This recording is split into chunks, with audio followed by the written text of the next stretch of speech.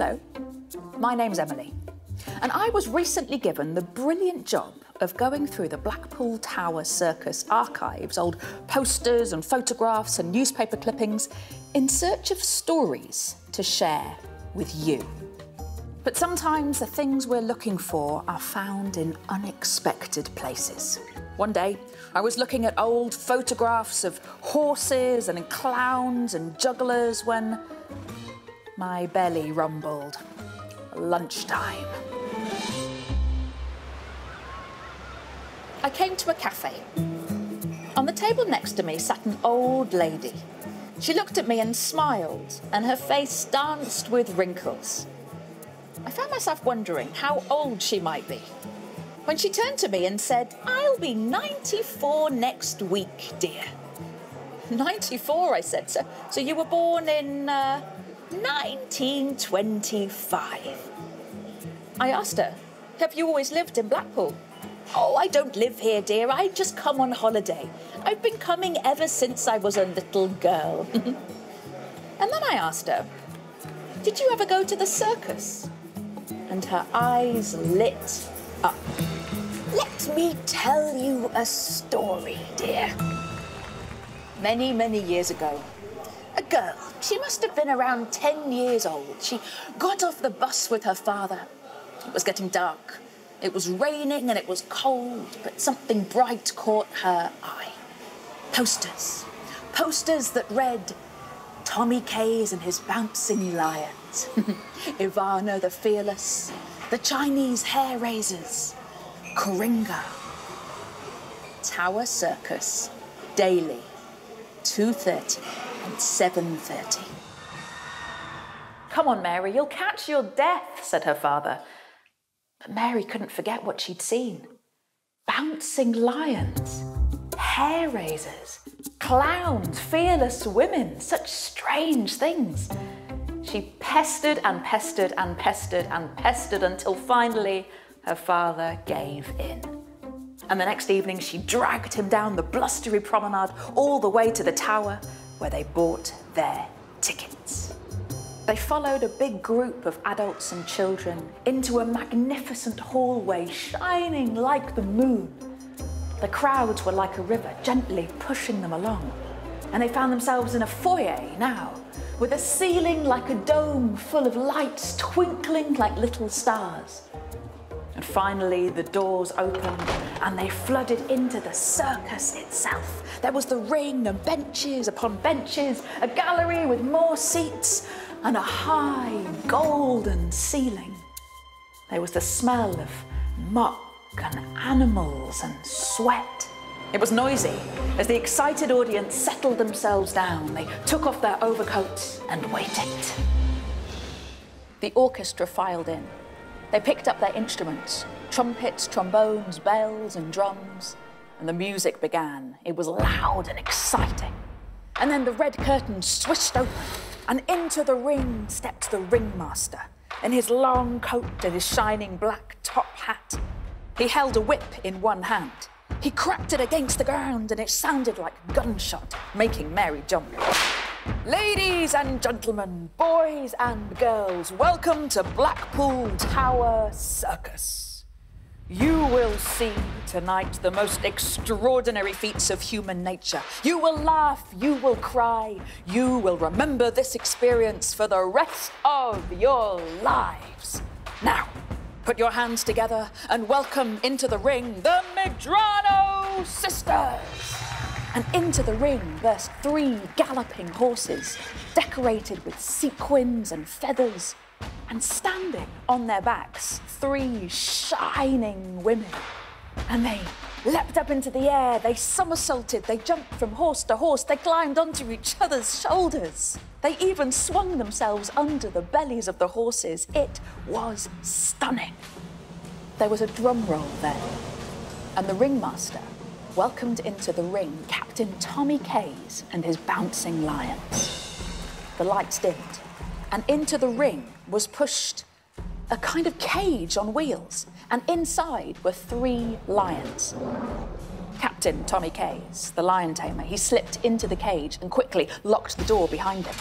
He cracked his whip, and the lions began to move around him, running faster and faster and faster until they were jumping up onto the sides of the cage, looking like they were bouncing. And then, when they were so fast they were almost a blur, he cracked the whip again, and the lions skidded to a halt. One of the lions opened its mouth so wide you could see down its throat. And then the lion tamer slowly put his head into the lion's mouth, in between its sharp white teeth. Mary couldn't believe somebody could be so brave. Or was it just stupid? After the lions came six beautiful elephants. They balanced on tiny little stools. They caught colourful balls on their trunks. They pretended to nearly crush somebody lying on the ground. Mary wondered if these elephants were enjoying themselves as much as the audience was enjoying it. Was this fun for them? Twice a day, performing these tricks in front of all of these people. Were they happy? And what about the lions? Did they enjoy all of this, or did they dream of running wild and free instead? Next came a strange, mystical woman in long, dark robes called Koringa, who hypnotized real life crocodiles. And then little dogs performing tricks, and tightrope walkers and trapeze artists like birds soaring in the sky. And then came Mary's favourite, a little clown called Doodles, who had everybody in hysterics. At one point, the ringmaster, George Lockhart, came and told him that his time was up. But Doodles refused to leave, and so the ringmaster pretended to give him the sack, and they had a silly argument. And then Doodles took his whip and his top hat and strutted around the stage, pretending to be the ringmaster himself. Even Mary's dad was crying with laughter. Finally, the grand finale. There was the sound of creaking machinery and gushing water. In just a couple of minutes, the whole of the ring was filled with water. There was a flash of lights and music, and then maybe 50 men and women, all dressed in exotic clothes and sparkling headdresses, appeared. And they leapt into the water, and they were diving through the fountains like flying fish. It was mesmerizing. It was the most wonderful thing that Mary had ever seen. Far too soon it was the end. The performers were all waving goodbye. They disappeared, the lights came on, the music was gone. Everyone was chattering and putting on their coats. Come on, Trouble, said Mary's dad. Time to go. But Mary couldn't leave. Not yet.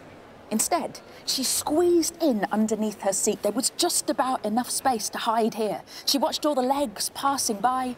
She listened to the sound of the chattering, the nattering, the footsteps disappear until it was silent.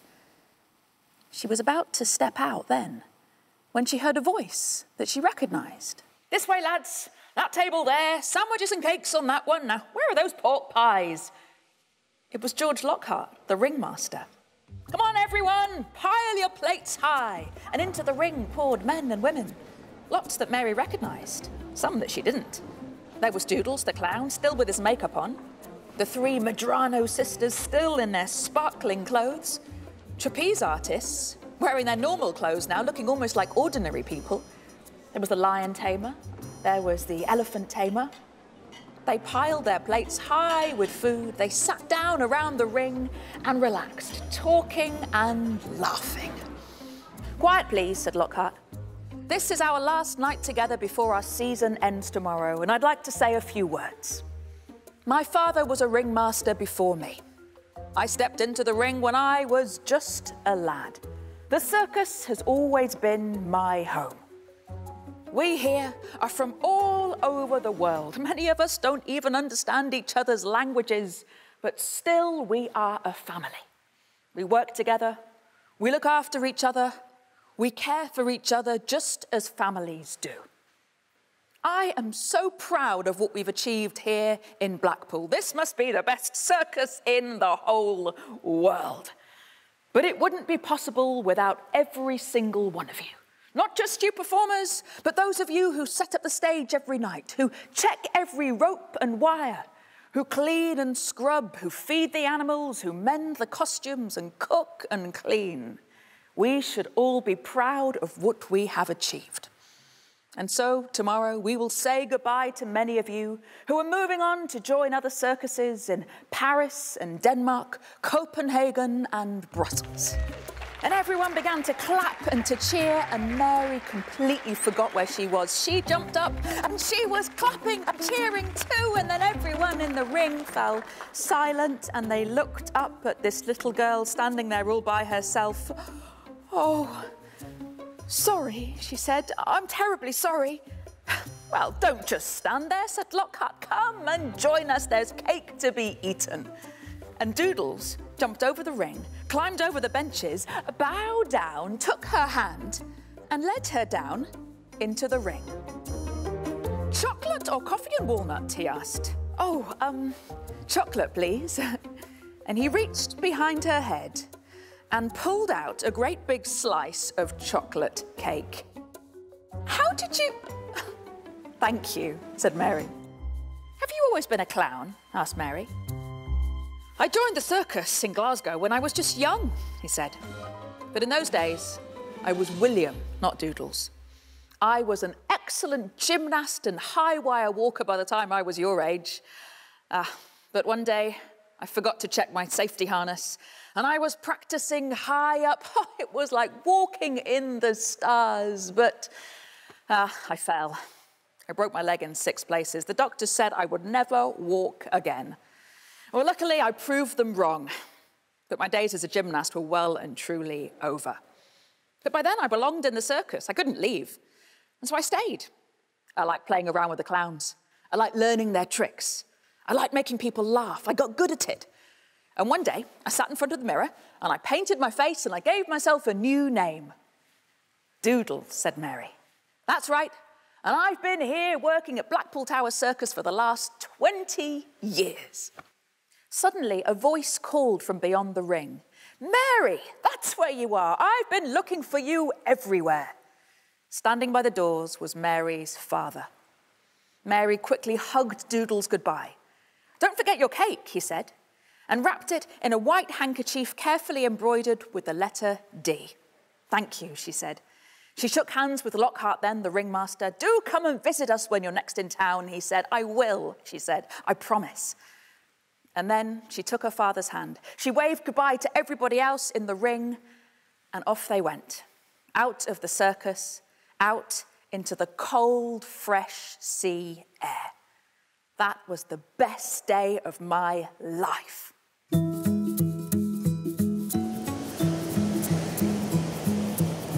The old woman went quiet then. She finished her lunch and ordered two pieces of chocolate cake. One she gave to me, and the other she wrapped in a white handkerchief and popped into her handbag. For my journey home, dear. I noticed that the handkerchief had a little D embroidered in the corner. Then she got up to go. But, but wait, I said. Oh, thank you, but tell me, how did you know that story? And she smiled and said, I think you know that, dear. And then she was gone. And you know, I realised that I did know exactly how she knew that story. And I've got a feeling that you know too.